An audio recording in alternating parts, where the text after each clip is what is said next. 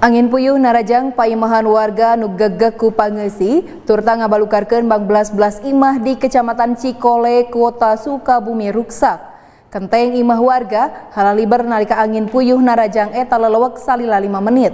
Samalah salah saji imah warga teu bisa ditempatan lantaran kaayana ruksak parna.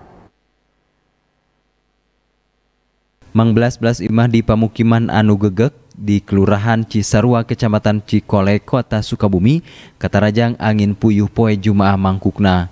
Eta angin puyuh anu dumadak narajang teh ngabalukarkeun warga genjleng lantaran kenteng katut asbes imahna halaliber.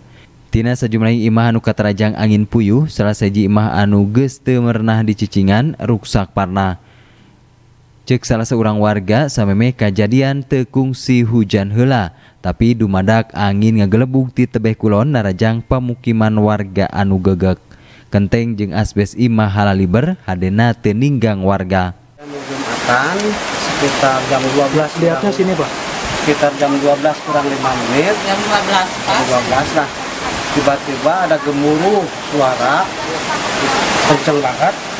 Coba datang angin itu datang angin ada perterbangan kenteng sama asbes.